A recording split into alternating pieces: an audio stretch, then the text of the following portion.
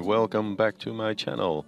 This is the 22nd vlog in the series of the build of my model N scale train track.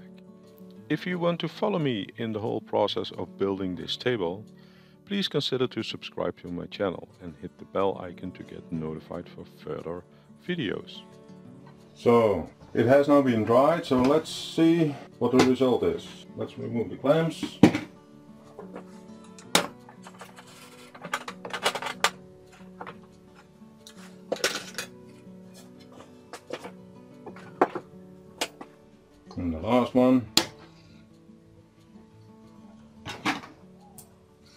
Top one was the, the one which already was finished. So let's see the result. Yep, so it fits. So what we're gonna do is we're gonna draw a center line sort of. So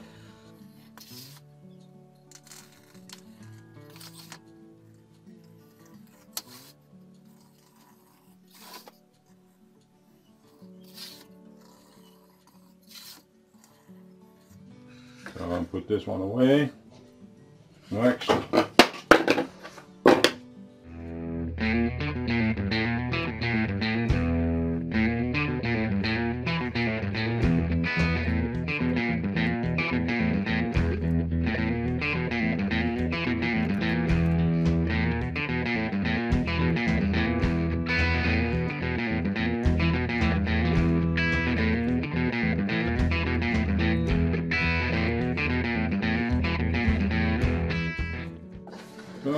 The last one. So it's five layers.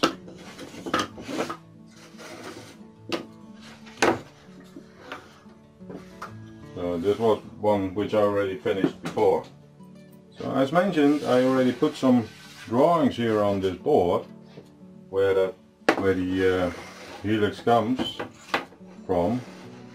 So let me put one over here so it's almost the right angle. So this section will be high and this section will be low. So I made some marks here, as you can see. Those are the marker lines, they're all around, where we need to put some extra height in between. So I'm gonna make some marks here on the board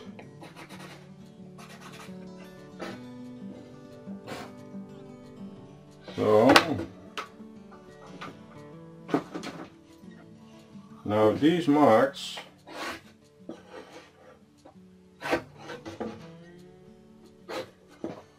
are where these studs come.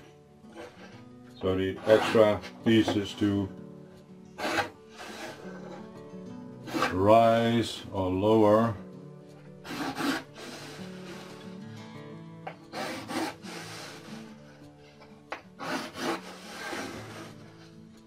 the helix.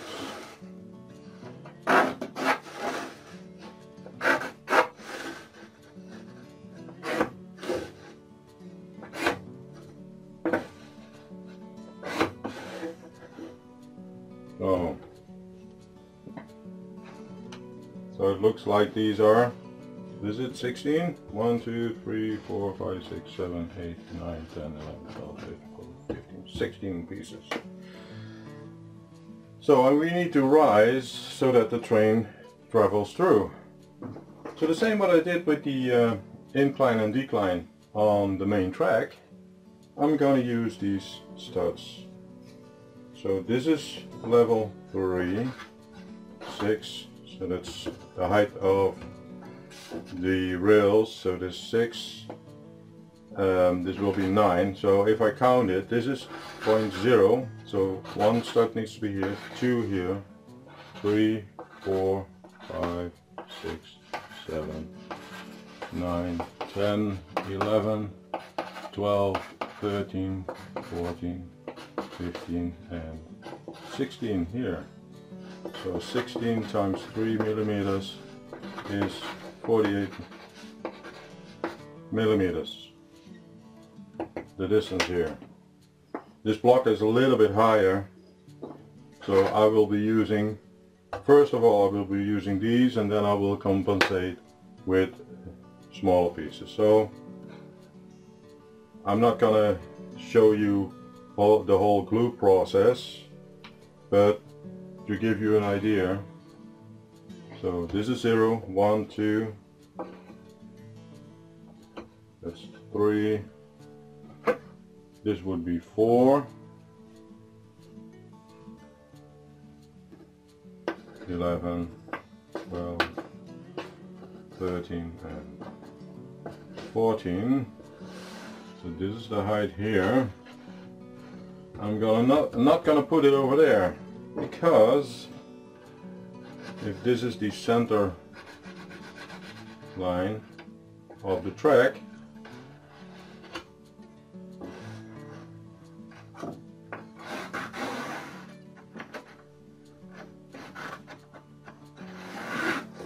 the tracker is traveling here so I need to make sure that I have clearance until here. So what we're gonna do we're gonna use a stud over here and not over there. But so these will not be positioned over here but this will be the what which is going to be here so that we have the right height so that the train can travel easy that way.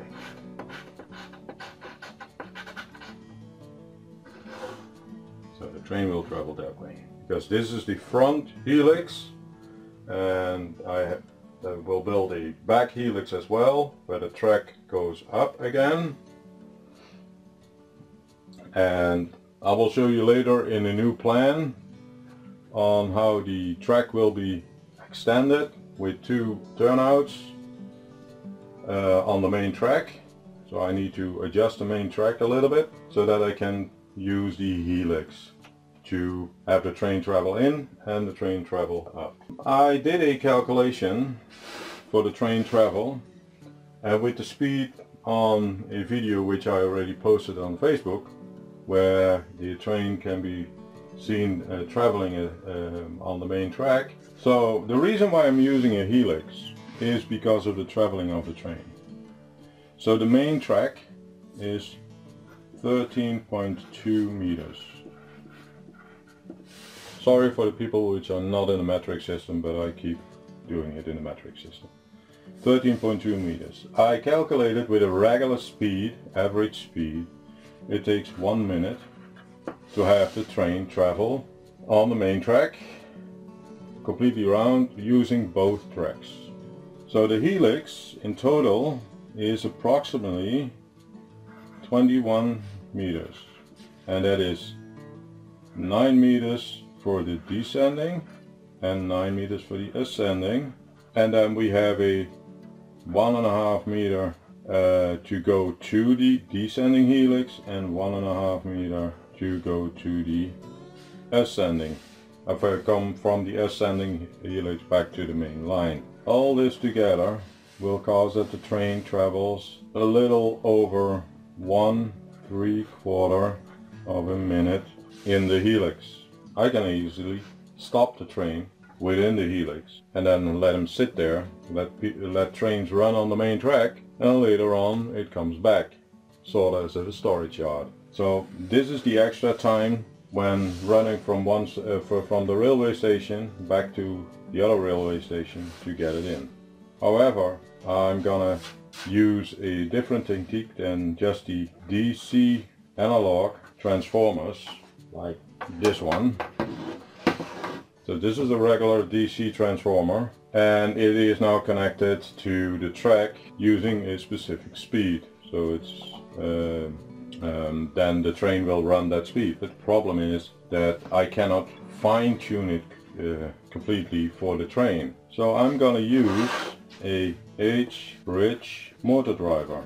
This will put pulses on the track for a DC motor to get better control. I will show you that in a tech tips, which probably uh, uh is already uploaded, on how to control a DC train so an analog train, to run on a track with the H-bridge motor driver. The H-bridge can be fine-tuned in lower speed and still have the train enough force to drive.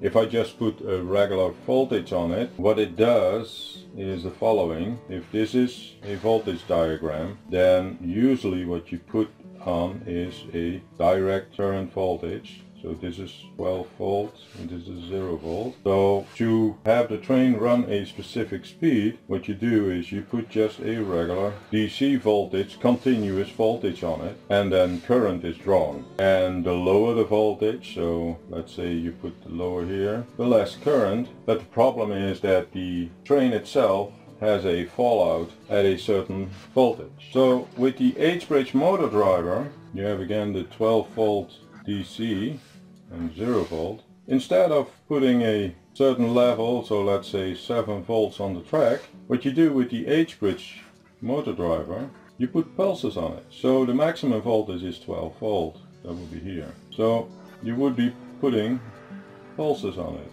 So there is a certain duty cycle. So if this section here has the same as this, so let's say this is um, uh, so it's 50% each, 50% each, so that the voltage is put on the track and there is no voltage, then that would average into 6 volts. But the motors will get pulses of 12 volts, which means you can control the motor better. That's actually what is done with a DCC controlled train as well, except there is a whole digital technique in front of it, which means in the decoder of the DCC, there is DC coming out of it in pulses to control the motor, in which you can better control so if the, the on time is a quarter, so this is 75% off and this is 25% on, then that means that the average DC voltage on 12 volt, the average will be approximately 3 volts. But the motor will get 12 volts, but then in pulses. And so you can easily um, run the train. The nice thing about this is, as, is also that when doing that with the 8-bit driver, you will put power on the track if in case the motor does not act upon a 2 volts or one let's say one and a half volt and still the pulses are there the lights on a train will still be lit so you see that the train still has power but is not running uh, unless it is higher than a certain voltage so the advantage of the H-bridge is then that you still will see that the train has power, but it doesn't run. You increase the on pulses and the off pulses are lower, then the train starts to travel and then you can have the train in a smoother run, which means that I'm able to descend or ascend on a helix or on the main track to the, that the velocity of the train uh, gradually is there instead of putting a regular straight voltage on it. And I have a benefit that with some trains or with some uh, wagons which I have, there is lighting lights in the wagon and they still be lit. They will be lit in a lower than on high speed, but they still will be lit. So you will see that in a tech tips, which I probably already posted, but that is what we're going to do uh, within the helix. And then the travel time within the helix will be longer than those one three quarter of a minute because it's better controlled. So that I can have the train a minimum away from the track for let's say five minutes. I can even put the train on the straight here uh, away from it. So I'm to show you one finished section of the helix. So that's this area. So the track is on there. I'm gonna put wires on each section of the helix. So this is one section. Will be one power section. So I have power sections in the helix, five power sections in the helix for the descending section and five for the ascending section. And now I have just regular uh, conductors connected here. I will be using insulators to get to the next level. So each individual section will be powered. If you like this video, give it a thumbs up, subscribe to my channel if you want to see more of these videos and hit the bell icon to get notified for next videos to come and I will see you in the next video. Thank you and goodbye.